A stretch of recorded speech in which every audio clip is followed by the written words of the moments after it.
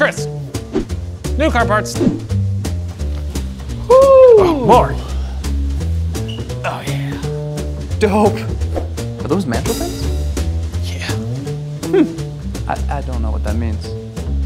I have no idea either. Try to remember some of the basics of CQC. If that's you, don't worry, you're not the only one. There are several types of machines used to bend a tube, and we make lots of stuff with lots of bends, like intakes, charge pipes, and exhausts, and they all benefit from mandrel bending.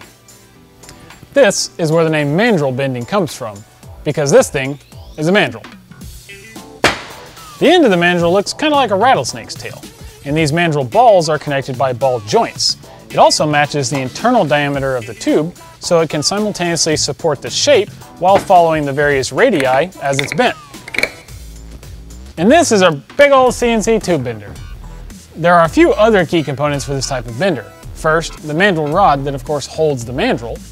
The clamp die secures the tube against the bend die and clamps firmly to draw the tube with it as the process takes place. Next is the bend die. This piece determines the radius of the bend.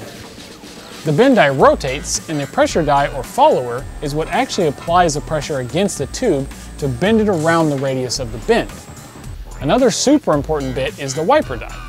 It's positioned on the inside just before the line of tangency and against the bend die to fill in this space and prevent wrinkling.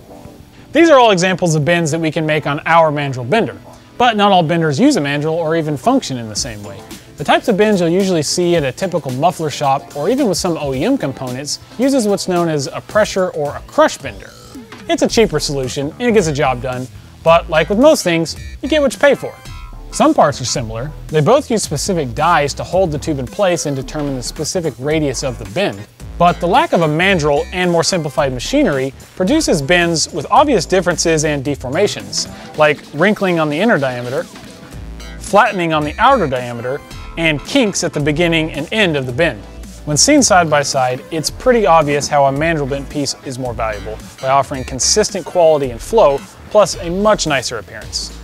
Most of you won't ever actually use a CNC mandrel tube bender on your own, but at least you now know what it means and why it matters when you're shopping for parts.